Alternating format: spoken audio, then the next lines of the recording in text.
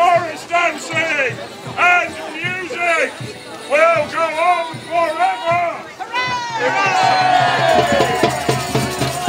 As illustrated by the next dance from Morris Dancers Anonymous the wonderful tune of